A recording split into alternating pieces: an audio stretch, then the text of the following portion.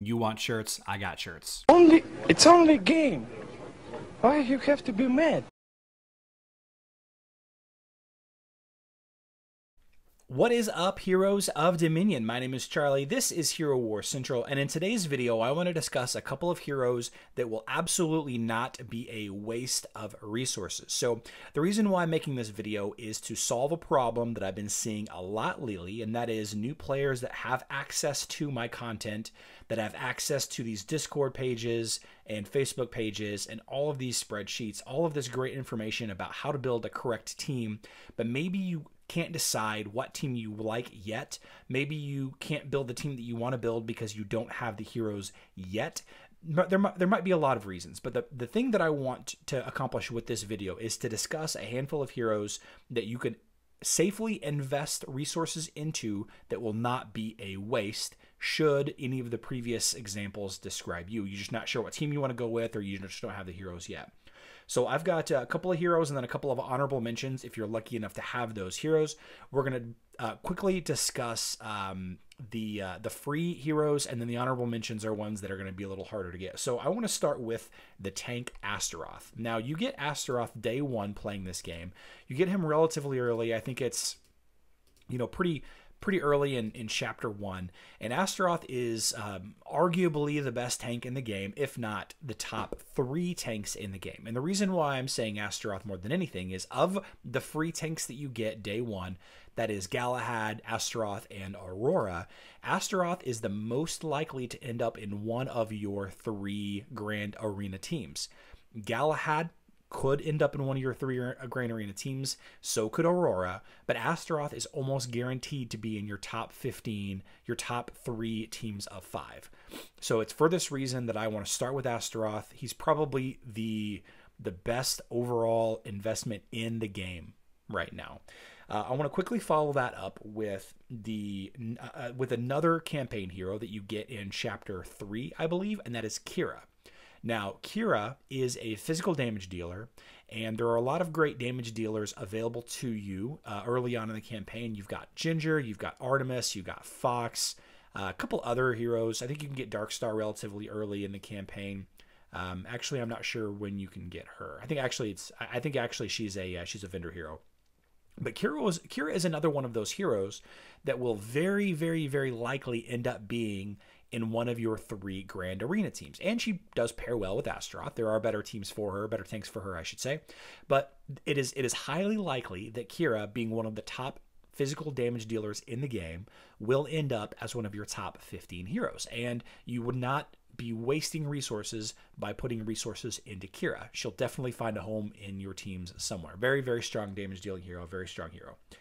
The third hero that I want to talk about is the uh, it's it's an Outland merchant hero, and that is Jorgen. And Jorgen is arguably the best arena hero in the game. You can get him for effectively for free. You spend 500 uh, Outland coins to buy five of his soul stones, so you can summon him pretty quickly for relatively inexpensive once you unlock Outland and start defeating Outland bosses, which I'll touch on that in just a second, actually. But of the of the merchant heroes of the of all of the merchants, the arena, the Grand Arena, the Tower, the Friendship Shop, the Highwayman Shop, if you're on uh, mobile, the Outland Shop, the Guild War Shop, of all of these heroes. Uh, I, I, believe that Jorgen is probably the best bet if you're trying to find a place to spend resources.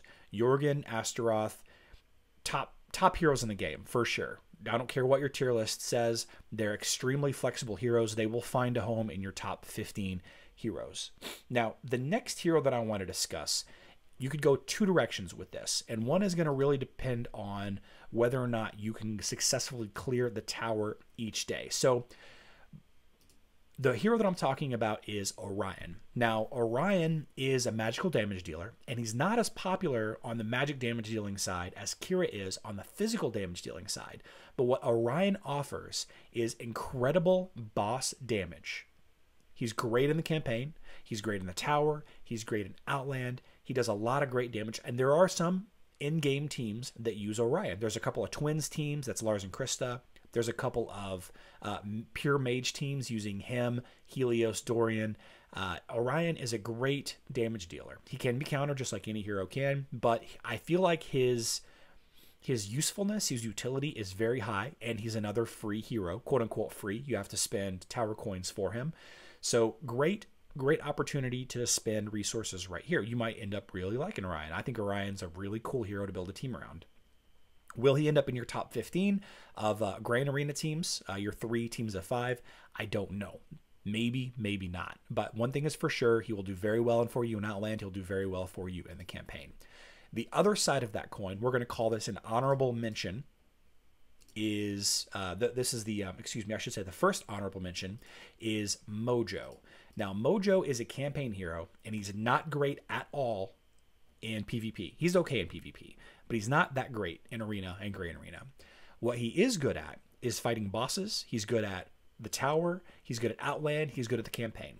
Okay, so Mojo, I probably wouldn't invest a lot into him, but he would be a safe investment overall. And like I mentioned, he will be a key contributing factor to defeating bosses in Outland, and he could be a key contributing factor to beating some of the tougher bosses in the campaign. So one to keep in mind. I'm not sure if if I would suggest getting him from the get go. Maybe focus on the other three instead. That is Astaroth, Keira, and Jorgen. Um, and if you can get Orion, Orion is a better mojo in all respects. Mo, uh, Orion is found in in-game team compositions for Arena, and Mo, I'm sorry, Orion probably is a better bet against Outland bosses, campaign bosses, and the Tower. Okay, so a couple other honorable mentions that I want to talk about. First, let's talk about Nebula. Now, Nebula can be had on mobile if you have a guild that is earning silver trophies. So if you can purchase Nebula Soulstones and you're in a guild that is earning silver trophies each week, then Nebula is probably another top three, top five investment heroes. The reason why she's not in the first list of of three to four heroes that I mentioned is because most people don't have access to Nebula. There is only a handful of uh, there is only a handful of teams that are getting silver uh, silver Guild War trophies or gold, of course. And if you're not getting those trophies, then you're not getting access to Nebula, and then you're not able to invest resources in a Nebula. So I, I didn't want this to, to, be a list for new players that people, you know, maybe or maybe not can get. But if you do have Nebula, she's a very safe investment. Of course, on Facebook, she's incredibly easy to get. All you have to do is compete every day in the Tournament of the Elements. You'll get uh, Tournament of the Elements scrolls um, that you can then turn around and invest at the merchant for, um, I believe they're called Elemental Tournament certificates that you can turn around and buy Nebula Soul Stones. Usually get at least two a week. You can buy 10 Nebula Soul Stones a week. She's a high, high, uh, high used hero. She will be in your top 15 heroes for sure. So if you have access to Nebula, dump resources into Nebula. The other two heroes are Martha and Celeste. Now, Martha is arguably one of the best heroes, I'm sorry, best healers in the game. Definitely top three healers in the game. She will be in one of your Grand Arena teams. However, you can only get her soul stones from the daily heroic chest, which is luck and random, or during an event.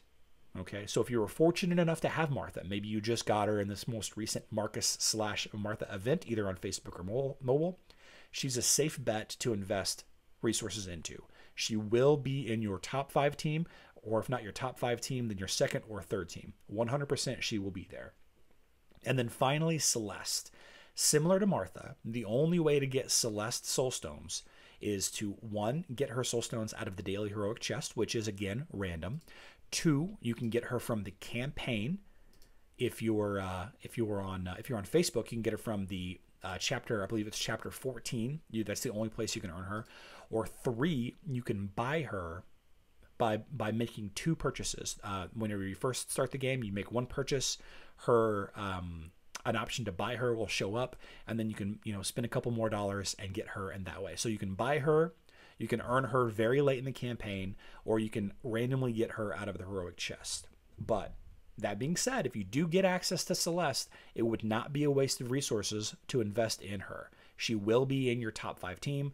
She's, I'm sorry, not your top five team. She might be in your top five team. she will be in your top 15 of all of your heroes. She does well in the tower. She does well in the campaign. She does well in Outland.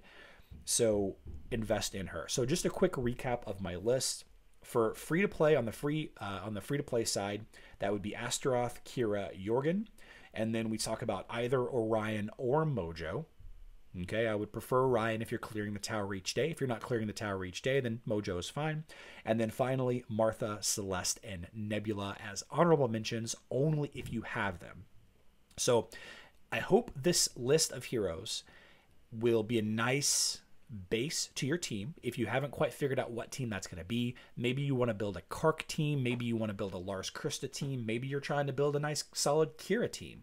I don't know what team you're wanting to build. Everybody likes different things. Personally, I'm more of a hybrid build. I know my uh, some of my subscribers prefer the Keira team, and that's a pure physical team. Some of my subscribers prefer Lars Krista, which is a pure magic team.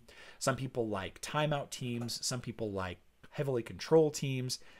I'm not sure what kind of player you are. Maybe you're not sure yet either. This list of seven to eight heroes will be safe investments. All right. So I hope you guys enjoyed this video. I really like getting back to these new player, helpful, insightful kind of videos. And because of that, I've got on screen a couple of my older videos helping, in particular, new players. So please check those out if you have some time now. If you don't, that's fine as well. I will love you either way. Good luck in Dominion.